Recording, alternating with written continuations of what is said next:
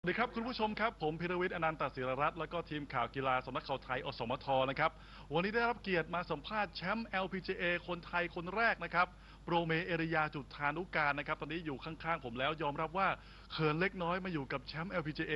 แล้วก็สวยขนาดนี้ขออนุญาตชมนะครับโปรสวัสดีครับโปรครับ สวัสดีครับ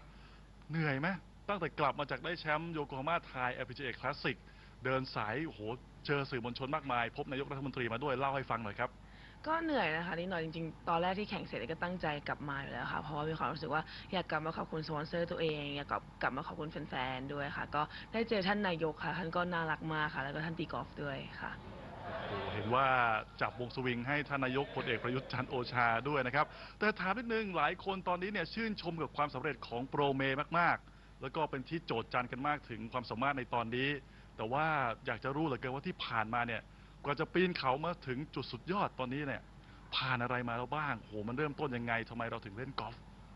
เริ่มต้นจากคุณพ่อคุณแม่เล่นกอล์ฟนะคะ แล้วก็ครับคุณพ่อเนี่ยขายละมีร้านขายอุปกรณ์กอล์ฟเราสองเมียกับพี่เนี่ยก็จะหลังจากเลิกเรียน คุณพ่อก็จะไปรับไปที่สนามกอล์ฟตลอด แล้วก็เริ่มเล่นเพราะว่าไม่มีอะไรเล่นค่ะ ก็หยิบไม้กอล์ฟไปแบบเคลียร์ลูกเล่นอะไรอย่างเงี้ยค่ะ ใช่ก็จริงเส้นทางมีว่ามันก็มีทั้งช่วงที่ดีที่สุดแล้วก็ช่วงที่แย่ที่สุดนะคะเมย์เริ่ม turn pro เนี่ยตอนอายุประมาณสิบเจ็ด แล้วก็ครั้งแรกที่ turn ปีแรกที่ turn pro เนี่ยเมย์ก็บาดเจ็บต้องผ่าตัดก็หยุดไปเกือบปีค่ะ แล้วก็กลับมาก็มาเล่น LPGA ได้ปีนี้ก็เป็นปีที่สองตอนนี้อาจจะได้แชมป์แต่จะบอกว่าปีที่ปลายปีที่แล้วก็ลำบากมากๆเหมือนกันค่ะ เพราะว่ามีช่วงที่แย่ๆ คือช่วงที่ตกรอบ 10 แมตช์ติดกัน ใช่ค่ะเนาะพูดถึงการคว้าแชมป์ LPGA ครั้งแรกในประวัติศาสตร์โปรกอล์ฟไทยเนี่ย แล้วก็เป็นความหวังของตัวเองด้วย ถือว่าเป็นหนึ่งใน moment หนึ่งในช่วงเวลาที่ดีที่สุด แต่ว่ามีช่วงเวลาอื่นๆไหมที่เป็นช่วงเวลาที่สุดยอดของตัวเองเหมือนกัน จริงๆต้องบอกว่าก่อนแมตช์เนี่ยค่ะมันจะมีแมตช์ ANA ใช่ไหมคะที่เมย์เกือบได้แชมป์เหมือนกันแล้วเมย์ก็ครับจบมาเป็นจบที่ 4 ใช่ไหมคะก็เป็นแมตช์เมเจอร์ด้วยตอนนั้นก็ตอนที่จบตอนแรกรู้สึกเอ้ยมันแย่เพราะเรานำมาแล้วเราก็แพ้สามหลุมสุดท้ายอะไรเงี้ยแต่ว่าพอกลับมานั่งคิดเมย์รู้สึกว่ามันมีสิ่งดีๆเกิดขึ้นอะมันเราทำมันทำให้เราเข้มแข็งขึ้นมันครัทำบให้เราก้าวข้ามผ่านอีกจุดมาได้แล้วก็ทำให้รู้ว่าเราจะ manage กะเวลาที่เราตื่นเต้นหรือว่ากลัวยังไงได้ค่ะครับผมอืมนักกีฬาต้องฝึกฝนมากมายนะครับ มีล้มลุกคลุกคลานมากมาย ล้มแล้วก็ลุกนี่คือเป็นการกลับมาครั้งที่ยิ่งใหญ่ในการครั้งนี้ อยากทราบเหลือเกินช่วงเวลาที่ย่ำแย่ที่สุดอะตั้งแต่ตีกอล์ฟมาคือช่วงไหนครับ ปลายปีที่แล้วค่ะ อย่างที่บอกเป็นช่วงที่ตกรอบ10แมตช์เลยค่ะ แต่ว่ามีโชคดีเพราะว่าคุณแม่แล้วก็พี่อะเข้าใจเมย์มากแล้วก็คุณแม่ทุกครั้งที่ตีไม่ดีคุณแม่ไม่เคยถามว่าทำไม แล้วก็ไม่เคยถามว่าเมื่อไหร่จะตีดี แต่ทุกครั้งที่แม่พูดเสมอคือว่าสู้ต่อไปลูกแม่เชื่อมั่นในตัวลูกอืม โอ้โหเห็นภาพข่าวแล้วนะครับ ถ้าใครจำกันได้ตอนคว้าแชมป์โยโกฮาม่าไทย LPGA Classic ทั้งคุณแม่แล้วก็พี่สาวในยถึงขั้นร่ำไห้เลย ค่ะ ตอนเซฟพาค่ะ ตอนนั้นได้นะครับ ที่บราซิล เดือนสิงหาคมนี้โปรเมเป็นหนึ่งในนักกีฬาไทยที่จะต้องไปชิงเหรียญรางวัลมา รู้สึกตื่นเต้นไหมครั้งนี้ ตื่นเต้นมากๆนะคะเพราะว่าเป็นครั้งเป็นอีกครั้งหนึงที่เราจะแบบได้ใส่ธงชาติไทยลงไปแข่งอะแล้วก็เป็นอีกแมตช์หนึ่งที่คนไทยทุกคนมีการการคาดหวัง แล้วเราก็รู้สึกว่าถ้าเราทำมันได้ดีเราทำให้ทุกคนมีความสุขได้อะอืม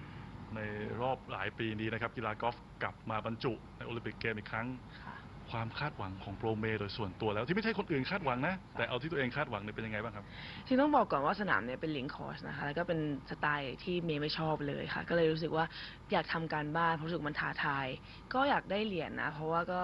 อยากได้อืม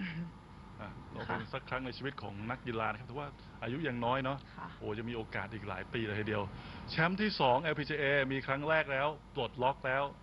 ตั้งเป้ายังไงบ้างกับรายการไหน จริงๆ อยากรักษาฟอร์มการเล่นของตัวเองค่ะ แล้วก็พยายามที่จะหาแชมป์ต่อไปของตัวเองให้เร็วที่สุดค่ะ